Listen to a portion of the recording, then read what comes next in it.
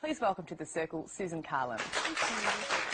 Maybe if we can hit this news angle 1st um, following Senator Cory Bernardi's comments, that the burqa represents the repressive domination of men over women, which has no place in our society.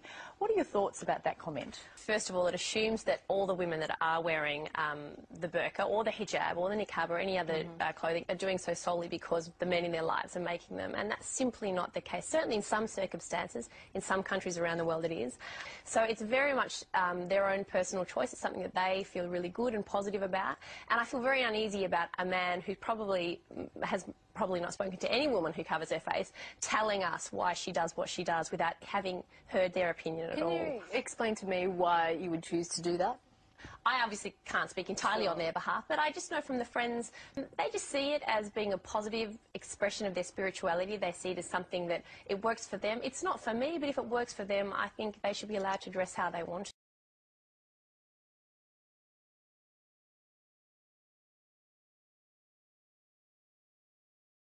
To. It's something that I guess they help. It helps them feel closer to their creator, and if it works for them, you know, I, I don't see it as an issue.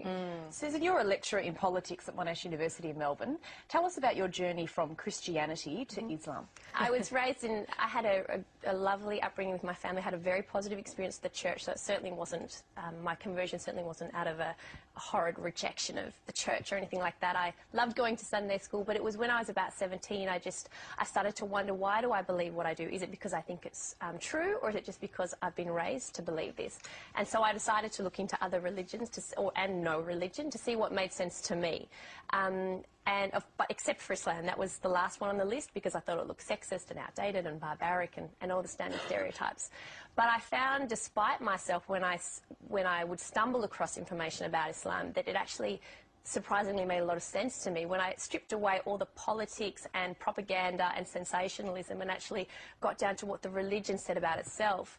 It was um, very beautiful, very peaceful, um, very logical, and it just really resonated with me. But it wasn't until I was 19 that I decided to become Muslim because I was worried about how my family and friends would react. And it was a, a big decision, but it got to the stage where I just knew, look, this is what makes sense to me, and I can't live my life to make other people happy. This is what feels authentic for me. Mm. And so when I was 19, I, I changed religion.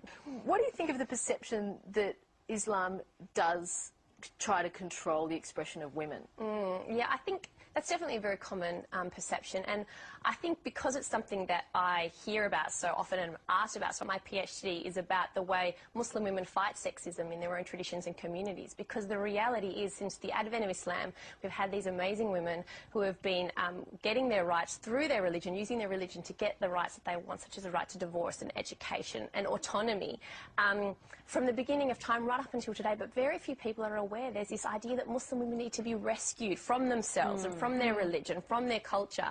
And what, it's so sad that it's seen that way because not only is it incorrect, it's, it's quite offensive um, to Muslims, to Muslim women, and the community as a whole. Because you could look at lots of different religions, all based on faith, Yeah. um, but the dress is the one point of difference. Why do you think people have such an issue with the dress?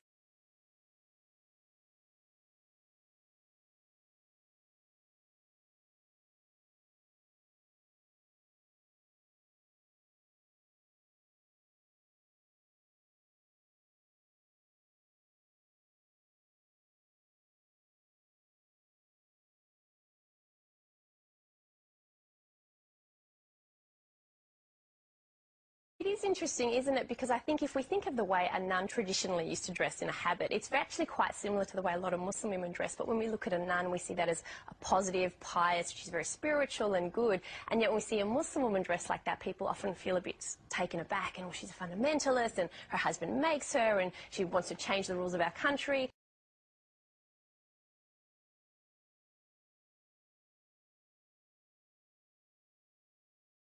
So I think a lot of it is the, the cultural baggage that we bring to it. And I think if people could just talk to each other and realise, well, hey, actually, you're just like me. And you probably wear it for very similar reasons to the reasons that a nun used to dress that way.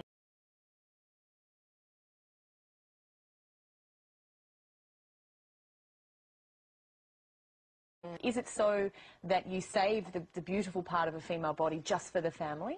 Every Muslim woman will, woman will say they wear it for different reasons, but ultimately we do it as an act of worship. It's an act of mm. faith to God. Mm. Like everything else that we do, the way we dress is, is an act of worship. And I've had women say that to me, this wearing a scarf is like a tangible reminder to them of their connection to God. Other women say, I do it as a feminist statement. I like the fact that when I go out, people aren't judging me entirely on how I look. and that. So there's a lot of different reasons that are in it, but I've never once had a woman say to me, I wear it because my husband makes me. It's far, far more common for a woman to say to me, my husband wishes I wouldn't, my parents wish I won't. I w- I don't wear it at home, and then when I get out, I sneak around the corner and put it on. Thank you so much, Susan, for joining us for on The. Circle. Very you. informative and interesting chat. Please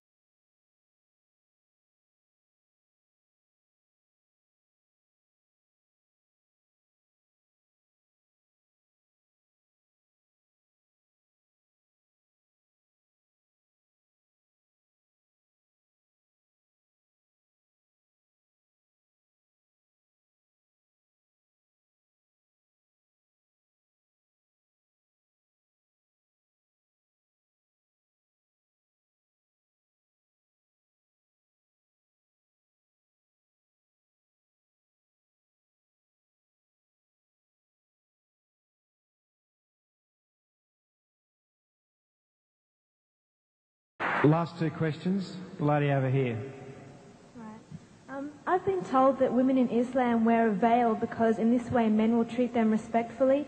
Um, but I see the veil as a form of oppression because why should they have to cover themselves um, because of the weakness of men? Shouldn't they be treated with respect regardless? Could you please explain the veil? And did Mary have to wear a veil?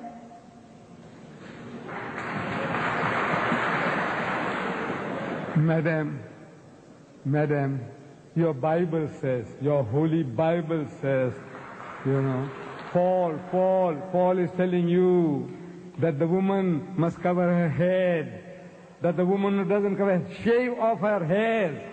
Your Bible says that.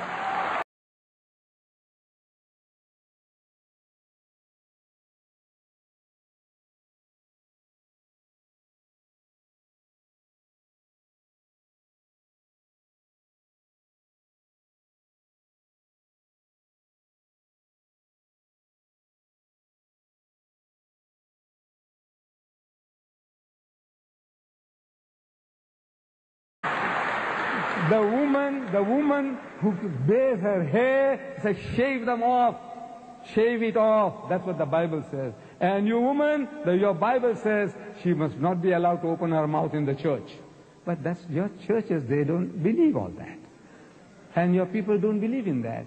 So you are inviting trouble. You know, because of this, in America, in New York, no woman is safe after dark. No woman is safe in France. During daytime, women have been raped in the street, and people just walk by, looking the fun. Say, oh, maybe they're enjoying themselves. Woman is being raped. No, no. I said, you are inviting it. Look, this modesty, the nun- nuns, the nuns, you know, the nuns, Roman Catholic Church.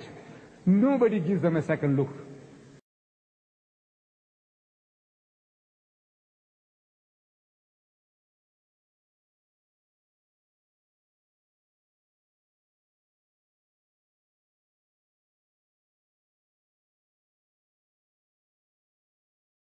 If Mary, the mother of Jesus, came along, you won't give her a second look.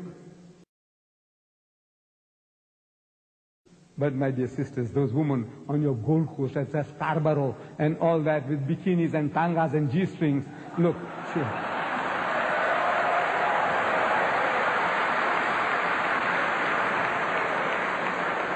It's attracting, look, even an old man like me, I tell you, my brother. If, if I went there, I tell you, I'll be burning inside. I'm telling you, look, this is the nature of man. God made us like that. The thing that allures man more than anything on earthly g- existence is woman. Do you know that? I don't know. The Quran says. The Quran says.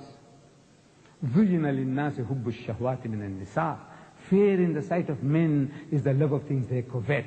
Number one, minan nisa, women. Wal banin, then son.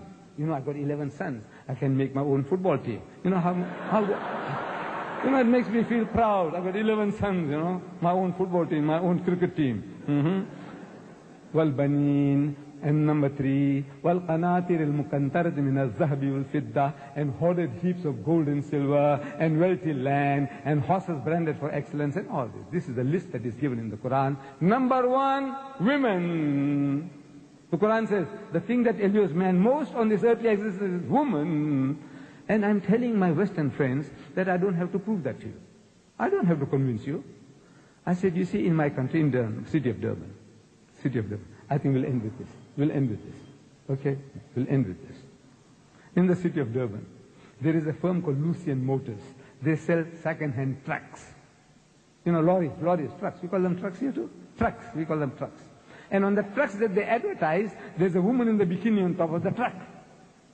Then G North, they sell farm implements.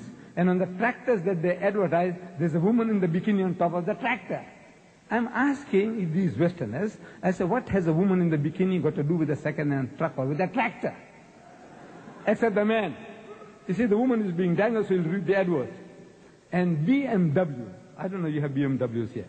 It's a motor car, it's a motor car supposed to be a little better than the Mercedes-Benz. I'm not in the market for it. You see, I started with the Volkswagen Beetle, I did 120,000 miles, and I had to change for another Beetle, and another Beetle, and another Beetle. Then they stopped making the Beetles. You know the Volkswagen Beetle? They started the Golf. So I had to buy Golf number one, Golf number two. I'm still not in the market for a BMW. But I am forced to read this advert. In my newspaper, I see a BMW motor car. And with a woman in the scamp, skimpiest of bikini, what you call the tanga, you know, the G-string. She, she's standing in front of the motor car, and it's, it's written at the bottom, test drive her now.